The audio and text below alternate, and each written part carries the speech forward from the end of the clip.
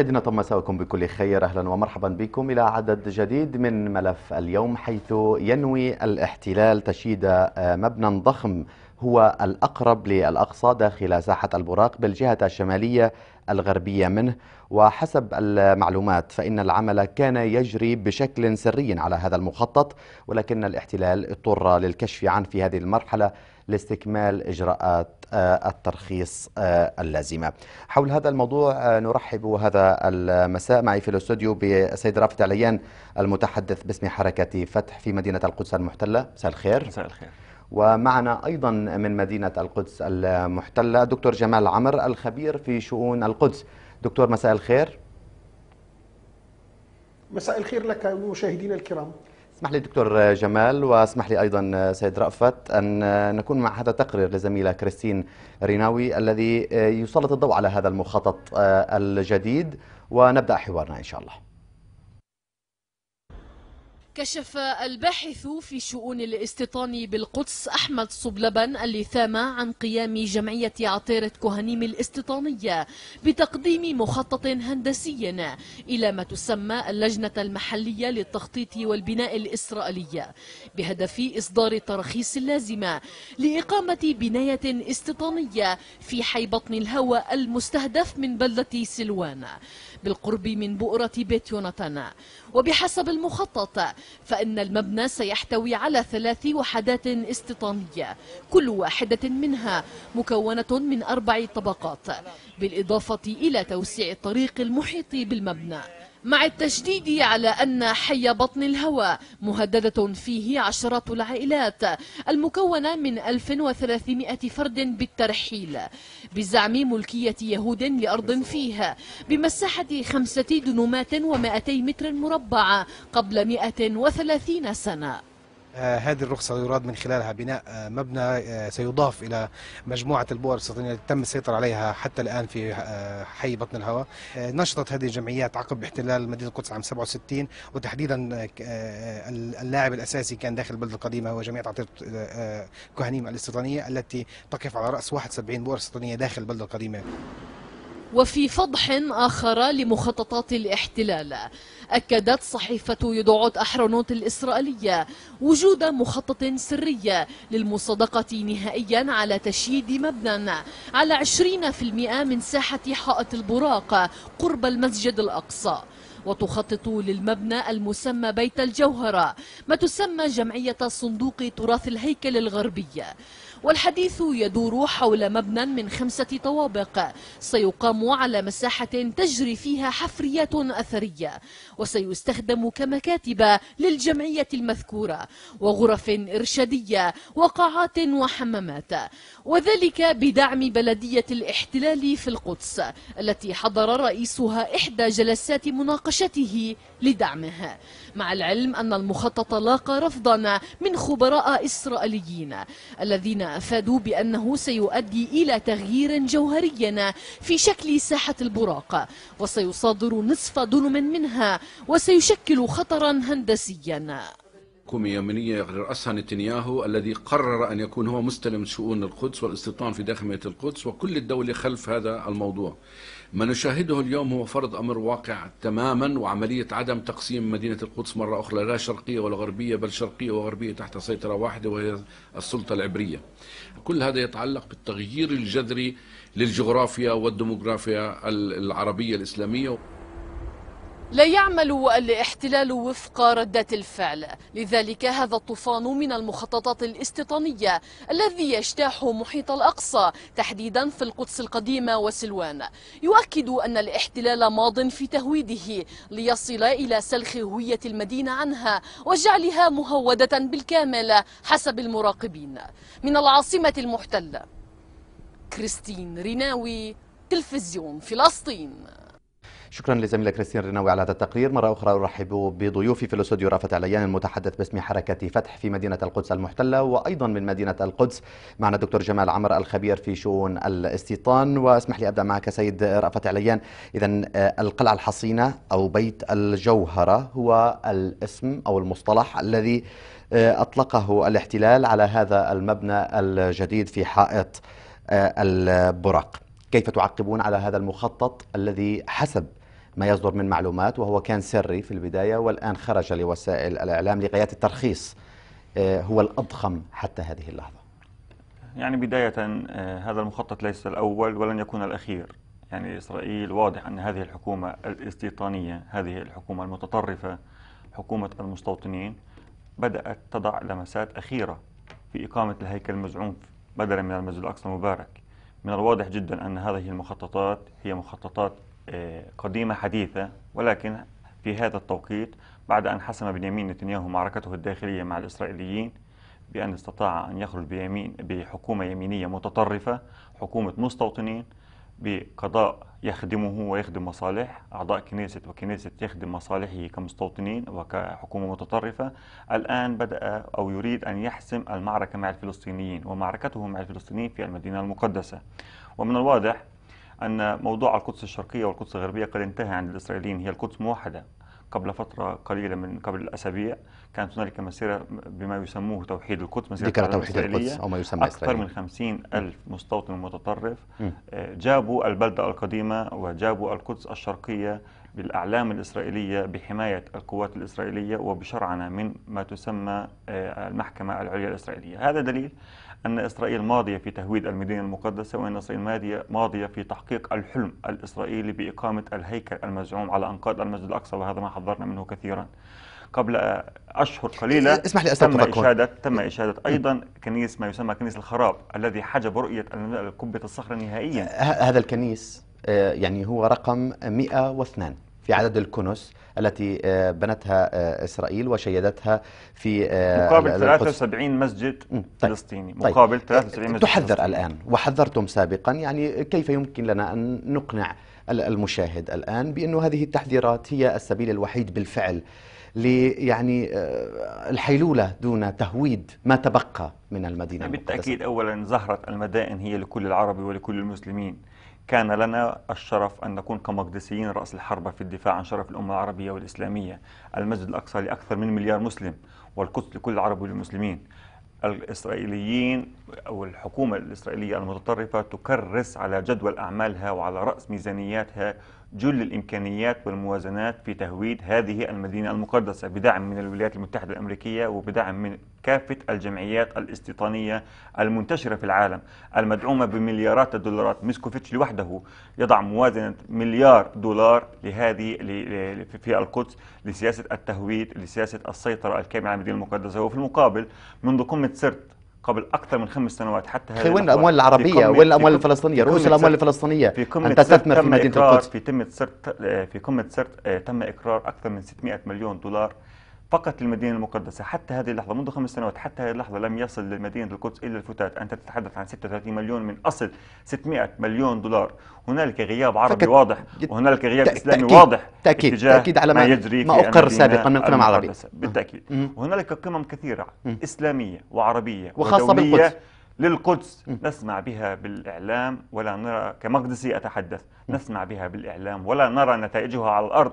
وفي المقابل الحكومة الإسرائيلية المتطرفة والجمعيات الاستيطانية والمؤسسات الاستيطانية آه، تضع كل إمكانياتها وقوانينها وكنيستها وأجهزتها الأمنية وأذرعتها في سبيل تهويد المدينة المقدسة وهي تعمل في الربع ساعة الأخيرة في تهويد المدينة المقدسة والسيطرة الكاملة على المسجد الأقصى. وهذا ما حذرنا منه على مرأى ومسمع العالم أجمع على مرأى ومسمع الأمة العربية والإسلامية. ومن يقف في وجه هذا المخطط هم نساء مقدسيات شباب مقدسيين أطفال مقدسيين هم من يحاولوا بالإمكانيات المتواضعة بهذه الإمكانيات البسيطة بأجسادهم العارية يحاولوا أن يقفوا سدا منيعا في تنفيذ هذا المخطط الاستيطاني الذي يسعى إلى الوصول إلى هدم المسجد الأقصى وإشادة وإقامة الهيكل المعزوم على أنقاض المسجد الأقصى المبارك. اسمح لي أنتقل مباشرة إلى دكتور جمال عمر الخبير في شؤون القدس وأيضا آه، أستاذ آه، ال- العمارة الهندسة المعمارية في جامعة بيرزيت وهو الخبير في هذا المجال ما يحدث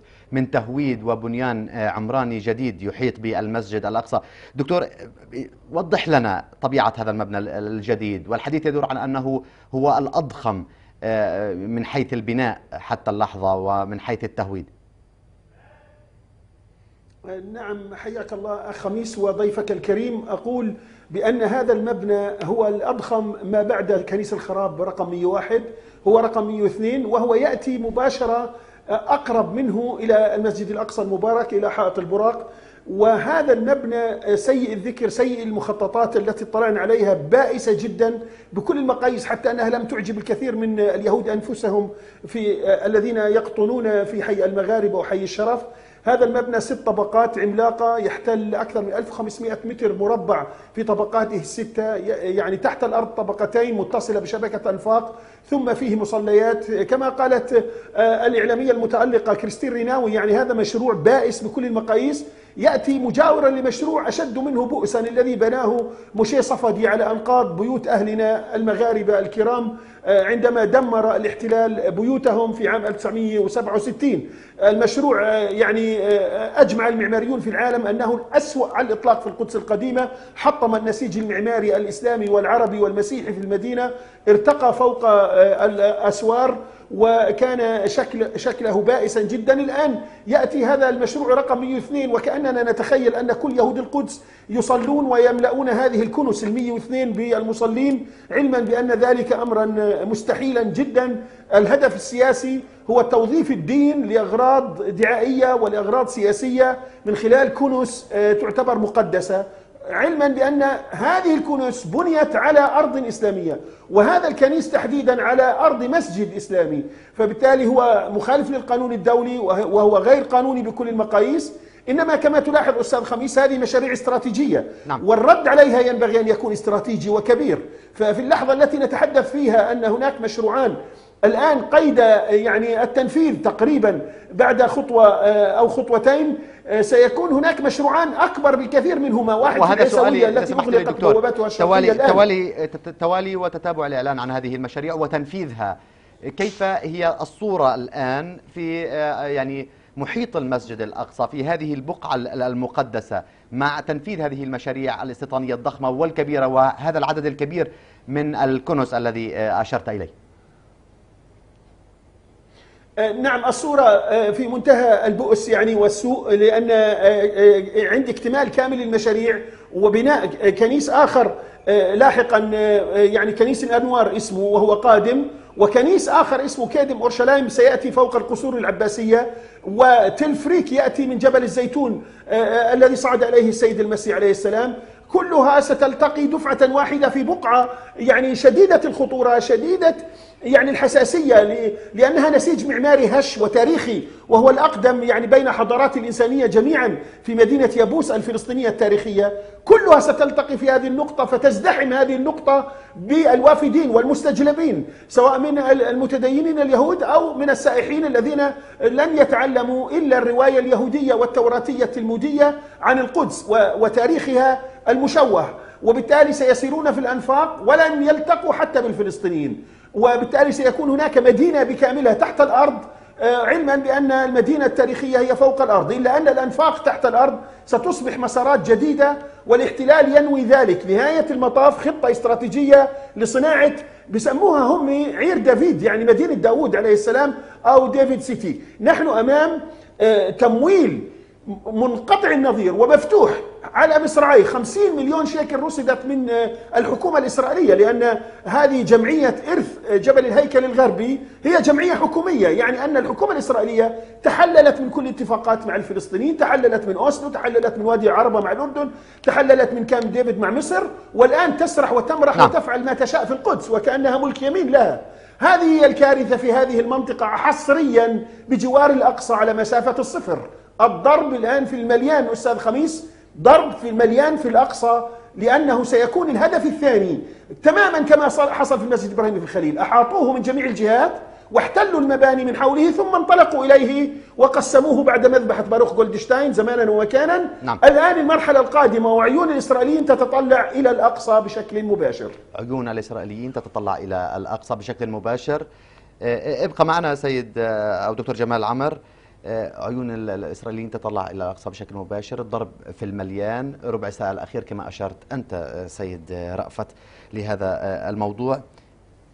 دور الفصائل الفلسطينية دور المؤسسة الرسمية الفلسطينية آه، الأموال الفلسطينية رأس المال الفلسطيني. العربي وعود كثيرة ولم أشرت قبل قليل أنه لم نتلقى شيء سوى آه، الوعود. ونحن في ربع الساعة الأخير. ما الذي يمكن عمله لإنقاذ المدينة بشكل عام والأقصى على وجه الخصوص؟ يعني اولا من الواضح أن كما أسلفت أن الحكومة الإسرائيلية المتطرفة التي هي بحد ذاتها جمعية استيطانية، أنا لا أؤمن أن هنالك جمعيات استيطانية تعمل، لا أنا أؤمن أن الحكومة الإسرائيلية المتطرفة برئاسة بنيامين نتنياهو هي هي بحد ذاتها جمعية استيطانية بهيكليتها بأذرعتها الأمنية بمؤسساتها بوزاراتها بكل ما بكل الإمكانيات المتاحه في حد ذاتها جمعية استيطانية. تعمل من خلال هذه المشاريع إلى سياسة الأمر الواقع على الأرض وهي إقامة الدولة اليهودية وعاصمتها القدس الشرقية وغربية.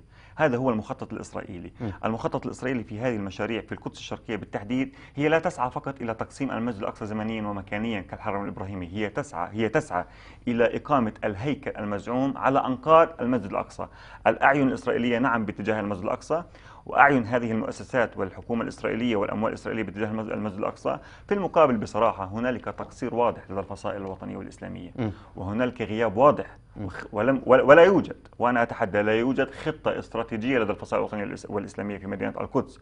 هنالك جهود مبعثرة وهنالك تصريحات وجهود فردية. وهنالك اجتهادات فردية. وهنالك إمكانيات متواضعة في ظل الانقسام الفلسطيني بين غزة والضفة في ظل من يبحث عن إقامة دويلة في قطاع غزة على أنقاض الضفة الغربية والقدس في ظل التدخل الإقليمي السلبي بالقضية الفلسطينية وفي ظل التدخل الإقليمي السلبي في القدس. نعم هنالك غياب عربي وهنالك بعد عربي عن القضية الفلسطينية أو حتى عن مدينة القدس لا يوجد دعم ولكن نحن نقول أن الدول العربية لديها مشاكلها وهمومها ونحاول نبرر لها بس هنالك بعض الدول تتدخل سلبيا في المدينة المقدسة وتدخلها السلبي وإمكانياتها التي تصرف في هذا التدخل تلقي بظلال سلبية على القضية الفلسطينية وعلى المدينة المقدسة وصلنا ما ولا أريد إليه. آه ولا أريد م. أن أدخل بتفاصيل كثيرة على الهواء ولكن المشاهد يعلم جيدا ما أقول م. من تدخل هنا وهناك أنا لا أستطيع أن أفهم أن يهود غلك أكبر اليهود المتطرفين الذي حاول فلسطيني معتز حجازي اغتياله قبل فترة من الزمن أن يكون بحضور ألف مسلم تركي على طاولة ومائدة تركية دون أن يكون هنالك أي مبرر لا لوزارة الخارجية التركية ولا الحكومة التركية. هذا النهج يخيف أنا لا أستطيع أن أفهم ولا المشاهد الفلسطيني يستطيع أن يفهم هذا الدور التركي الذي عندما استضافوا يهودا غيلك ورحبوا به وهنؤوه بالسلامة وقالوا له, له من حق المستوطنين ومن حق الإسرائيليين أن يدخلوا المسجد الأقصى لأن المسجد الأقصى لكل الديانات. هذا التدخل الذي يخيف القضية الفلسطينية وهذا التدخل الذي يجعلنا كفلسطينيين في حالة من القلق. لا نريد تدخل عربي إيجابي بس ما بدنا تدخل عربي سلبي كمان. لا نريد تدخل عربي آه، إسلامي إيجابي بس بدناش كمان تدخل إسلامي سلبي يضر ويزيد, ويزيد الضرر أيضا. نحن كفلسطينيين. في المدينة المقدسة لدينا خطة استراتيجية واحدة وموحدة. أنا أتحدث كمقدسيين كمقدسيين. لدينا خطة استراتيجية واحدة وموحدة وهي مقاومة هذا الاحتلال. ولكن لا تستطيع المقاومة لوحدكم. يعني أنتم بحاجة إلى عوامل بحاجة إلى عوامل. بحاجة إلى عوامل. إسرائيل تعمل في القدس بثلاثة طرق. الطريق الأول هدم سياسة هدم المنازل. هنالك أكثر من 20 ألف منزل في المدينة المقدسة لديهم اختارات هدم. 20 ألف منزل بإحصائية من بلدية الاحتلال الإسرائيلي في المقابل سياسة سرقة المنازل. هنالك سياسة إسرائيلية لدى الجمعيات الاستيطانية برئاسة بنيامين نتنياهو تزور العقارات وتزور الأوراق وأملاك الغائبين وأملاك الحاضرين وتسيطر على غالبية البيوت في المواقع الاستراتيجية في المدينة المقدسة. وهنالك السياسة الأخرى سياسة القتل والتطهير العرقي.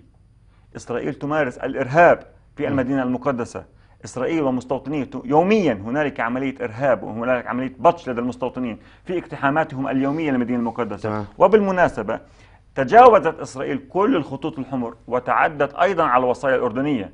عندما يدخل مستوطن إسرائيلي فرنسي ويرفع العلم الإسرائيلي داخل المسجد الأقصى ويقوم حراس الأوقاف الأردنية بمحاولة منعه, منعه يتم تعدي على اعتقالهم والتعدي عليهم ومنعهم من دخول المسجد الأقصى.